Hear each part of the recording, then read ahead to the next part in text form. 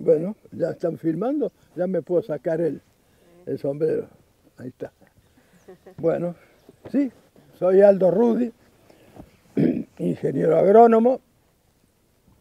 Ya llevo 65 años de, de profesión y, y bueno, eh, he gozado toda mi vida en donde hacen agricultura con la última tecnología y Eh, doy era fe. la única institución más fuerte que había dentro de su eh, sector. agronomía o agroveterinaria, porque nos unimos enseguida con Eh, veterinaria. era duro, era difícil. este, Porque las altas tecnologías que hoy tenemos, porque agronomía en un comienzo... En los años 60, cuando se genera eh, la, la de creación de lo que es el muchísimas INTA, especialidades.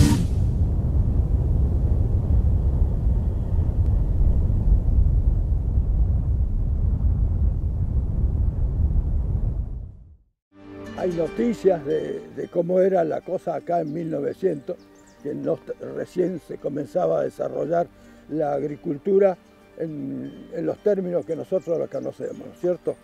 Eh, pero sí, eh, en esta zona de Río Cuarto, que era un poco marginal para la parte agrícola en esa época, eh, no nos olvidemos que esta fue una zona, una gran zona ganadera, eh, muy afectada y, parada en el desarrollo eh, por la época eh, de los malones que, que diezmaron gran parte de la riqueza ganadera y la seguridad y la posibilidad de que se asentaran más gente, ¿no es cierto?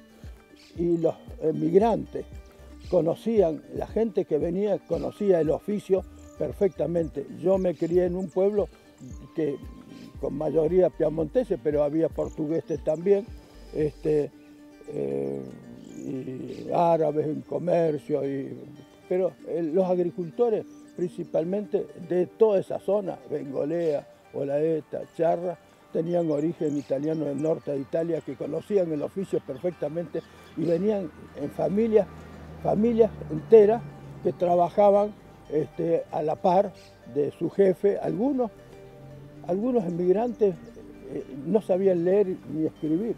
Las colonias fueron la base de- del desarrollo agrícola argentino. Pero las que yo conocí eran estancias que se inscribía en el Instituto Nacional de Colonización que asignaba tanta familia a esa estancia o ese, a ese emprendedor, al colonizador. Entonces, esas, esas chacras se dividía parte de la estancia, el banco hipotecario le daba los fondos para, para atender a esa gente, atender significaba darle los caballos, darle el arado, darle la semilla, eh, para que eh, eh, en, esa misma temporada ya empezaban a, a sembrar el trigo. ¿eh? Dentro de la colonia de Olaeta, donde conozco, había gente que pronto fue en la segunda generación ya era propietario, ¿no es cierto?, por distintas causas. Y después vino toda una avalancha de situaciones sociales de que desembocaron en que casi todas las colonias desaparecieron y pasaron a propietarios, arrendatarios subarrendatarios. El primer cultivo y el cultivo, el monocultivo de muchos años en, en el mundo chacarero fue el trigo, fue la base del desarrollo primario de la República Argentina. Se araba, se usaba una rastra para, digamos, eh, mejorar la, superficie del terreno en una o en dos pasadas y después se sembraba con una sembradora que se compartía entre dos o tres colonos, que era la, herramienta más cara en ese momento. Eso era la siembra del trigo. No existían los herbicidas, todo se trabajaba, cuando habría un- alguna maleza extraña se sacaba a mano, ¿eh? toda la familia colaboraba y se llegaba a la cosecha de trigo en, el final del verano, ¿no es cierto? Ahí se usaba una herramienta que se llamaba espigadora. De ahí para adelante, cuando el trigo estaba seco, se cargaban chatas rastrojeras. La chata rastrojera estaba, tenía una lanza, cuatro ruedas, una lanza, dos caballos, ¿eh? Que, cuya lanza iba colgada de la, de la pechera Así que cuando había que doblar, doblaban la lanza, las ruedas iban para un lado, iban para el otro, dos caballos, ¿no es cierto? Esa chata tenía baranda alta de un lado y baja del otro, ¿eh? cosa de que el que iba con horquilla levantaba de la andana, de la hilera ya seca de, trigo con espigas, se cortaba bien a ras, así que este, eso se podía levantar con una horquilla y el que estaba arriba de la chata recibía esa horquillada, esa horquillada y la iba acomodando. Después eso se buscaba un lugar adecuado, eh, que sea plano, no había dificultades porque todo era llanuda, eh, y se hacía la parva. Siempre había un habilidoso para manejar y hacer la parva. Esa parva duraba, duraba varios meses hasta que venía la, máquina este, desgranadora. Se hacía el parvín y eso se llevaba a hacer una, una estiva, que podía estar un tiempo en el campo o muchas veces se cargaba en chata y se llevaba a la estación de ferrocarril. la comercialización estaba a cargo de, de acopiadores, que se llamaban acopiadores de grano, que se manejaban comercialmente con alguna de los grandes exportadores, Dreyfus, Bungibor y, tantas otras, ¿cierto? Que exportaban ese trigo. No había muchas plagas, no había, porque el cultivo era nuevo. Sí hubo una crisis, una pandemia, cuando apareció la plaga bíblica, que fue la langosta esquistocerca este, eh, cancelata, que después se llamó esquistocerca paranaense, que le cambió el nombre. Pero eh, llamémosle como lo llamemos, la langosta que ahora ya empezó a aparecer y que los argentinos lograron dominar ampliamente. Las plagas no eran muchas, pero cuando apareció la plaga, el Ministerio de Agricultura, como será acá Río Cuarto, en Banda Norte, donde está eh, la Escuela de Música, eh, todo eso, ahí todo ese predio era instalaciones con galpones, con chapa barrera, con eh, los lanzallamas, con las, eh, pulverizadoras y espolvoreadores portátiles que prestaban. A uno iba con su camioneta, su camioncito, su, su chata y le ponía la máquina encima, se ponía el motor en marcha y largaba gamesane en esa época, que eran los primeros eh, insecticidas que se fabricaron en el país. Ver, sembrar y crecer, siempre lo tuve presente y dije, esto es una, profesión maravillosa. ¿Dónde se estudia? Y empecé. A los 14 años ya me, tenía correspondencia con, con el secretario de la universidad. Y entonces ya nació mi vocación. ¿De dónde fui a estudiar? A La Plata porque el que me contestó primero cuando yo escribí fue el secretario Boco, que, me dijo, acá podés venir a estudiar porque vos haces esto años, no tenés que rendir, y esto y esto, te doy cuáles son las materias. Y yo ya estaba, cuando me recibí bachiller, ya sabía que iba a ir a La Plata, con toda ciencia, con toda seguridad. La primer eh, agronomía o agroveterinaria, porque nos unimos enseguida con un veterinario, existió en el país. En el año 1956 creamos eso, atender a la gente como atendían los veterinarios, ¿eh? con el perrito, con, el, con la vaca, con el lechero, con el tamo, y nosotros con la planta, con la tucura.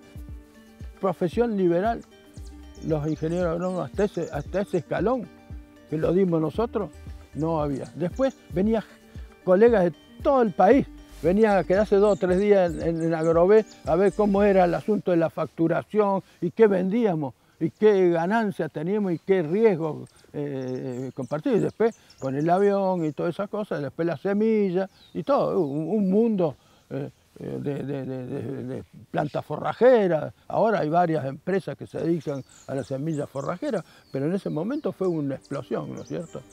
Y yo tenía experiencia con los chacareros, porque me había criado con ellos.